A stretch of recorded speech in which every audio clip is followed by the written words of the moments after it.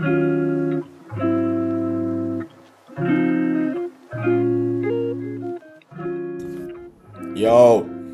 Coffee Time with Trevor number eight, possibly. Maybe nine. I think it's eight. Maybe it's eight. I don't know. Coffee Time with Trevor number eight. What's going on this week? Um, we were out of town most of the week, so um, and we were like, I did a 50 mile bike ride. We went to Chicago for three days, so I really haven't been a lot at home. Um, but a few cool things happened. A few cool things happened. So we went to a Cubs game in Chicago. I met this guy who does web development, um, just sitting beside me at a Cubs game. Um, I talked to him about it. He made it sound like so. Obviously, I mean, he was impressed. He said a lot of good things. He was a very nice guy, but he said a few things to keep in mind when making websites. And he said also I told him about my issue is just landing people. My issue is landing people. I think I got pretty good sites. I know how to do everything. Um, the issue is just landing people. So he said, like, yeah, man. I mean, you're just gonna have to. It's as simple as you're just gonna have to either like walk up to 30 businesses a day or just contact a bunch of people. Now I can't really do that on my driver's license yet, but what I can do is I can cold call, double or triple that. You know what I mean? So today I'm filming a can't uh call, cold calling 100 businesses in a day. I started my lead list, but for the most part of it, I'm just gonna go Google Maps, find a business that doesn't have a website, and call them up saying, "Do you want a website?" Um, that's what's going on. That's one thing interesting that happened this week. I met that guy. Con- I connected with him on LinkedIn. He he really was a cool guy. And then um another thing that happened was I met a guy online. It's this this kid. He just turned 16, so he was just 15 not too long ago, and he's bringing in 25k a month just through drop shipping. It's like whoa, that was crazy to me. He said he's buying a BMW, like, in the next few days, or he's kind of going through the papers right now. But um, he's making 25k a month. He started doing drop shipping. Well, I think there's a lot behind that because he said he started learning and kind of getting into dropshipping in May. That's about the same time that I started Imhoff Media and started really learning web development. That said, now he's bringing in 25k a month, which is fucking crazy.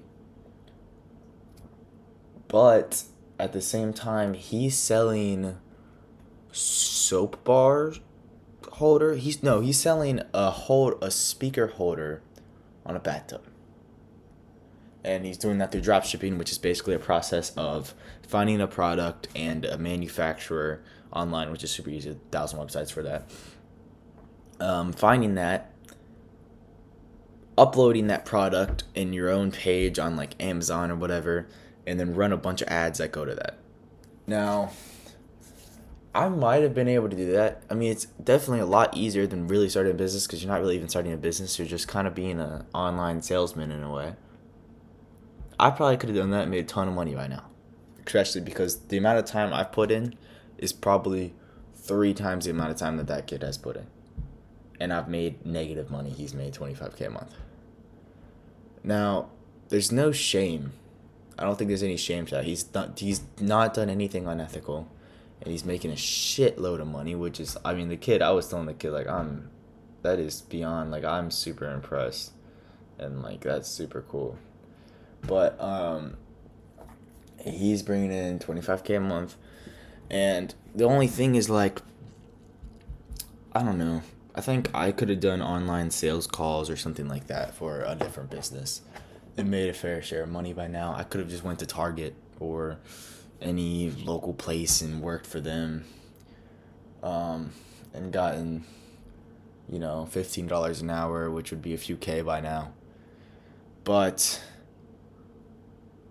that kind of defeats the whole purpose like the purpose of me of starting imhoff media and creating websites and why i stopped doing smma was because i don't know i, just, I got like i learned that it's really important and great when you can create something.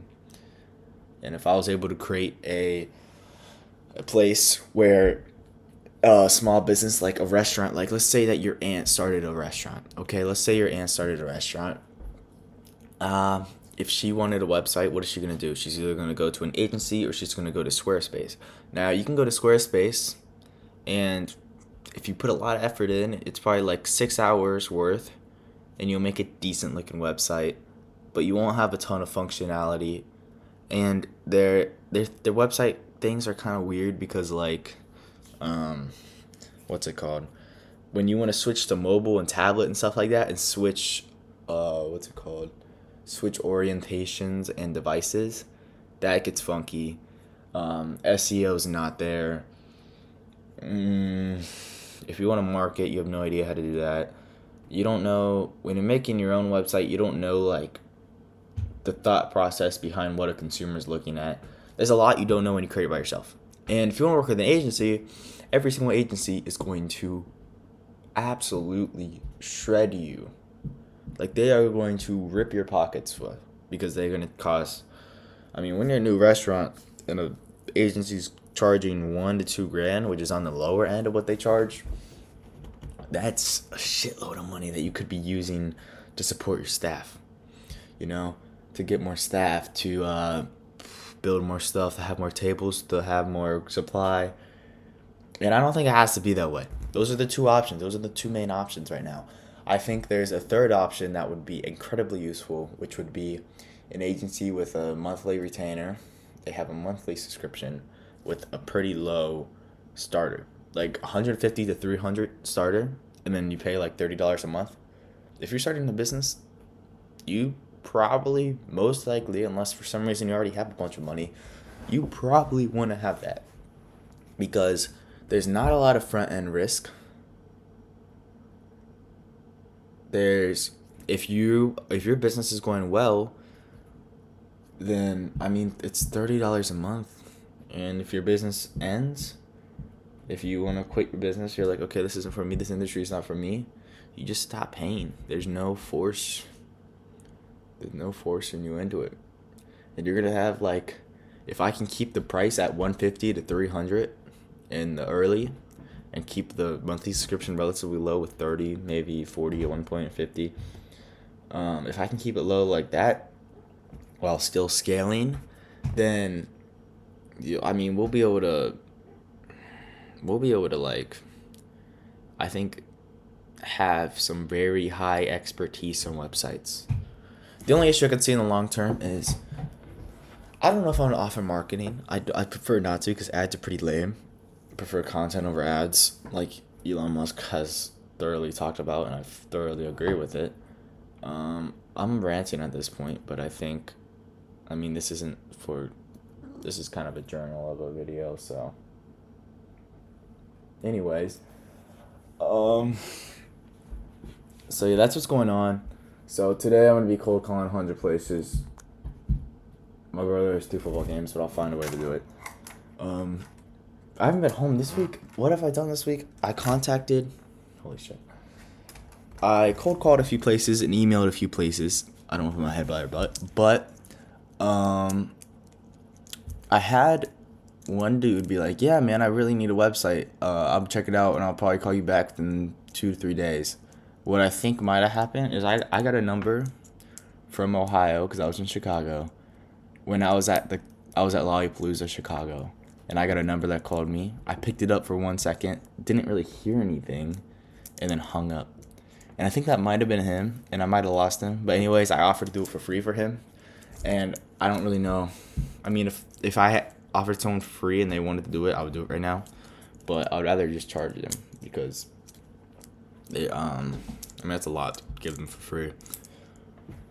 But yeah, that's what's going on. So um something that's been going on also is I've been like trying to find excuses not to contact people just because contacting people is very uncomfortable. So I've been trying to find excuses to not like okay well maybe this website's not good enough. Maybe i gotta change this website. Maybe uh maybe i gotta create a profile. Maybe create a google profile. Maybe create a blah blah blah linkedin. And obviously i know that stuff, whatever, do that eventually. But realistically, the most important thing is pick up that phone and call people, or message people, or email people. Same, they're all the same thing. Just some are more effective than others. And I kind of realized that, and seeing like that kid making 25k a month, seeing Chicago, that guy made it seem like just call, start calling people, man. Your websites are good enough to start. Because once I, realistically, the only way for Imhoff Media to grow would be if I landed somebody. I could tweak these websites for years and I wouldn't it wouldn't make a difference.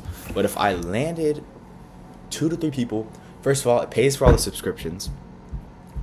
It allows me to have enough money to comfortably play for the subscriptions, but as well buy a new if I could buy a keyboard and a mouse, that would be so nice for this computer because I use my website. It's I don't you don't need to know about that.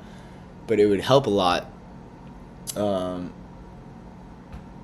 that's second. Third of all, by having a client, I can actually see what do clients want. I don't really know what clients exactly want. I mean, I know relatively, but I don't know into the details.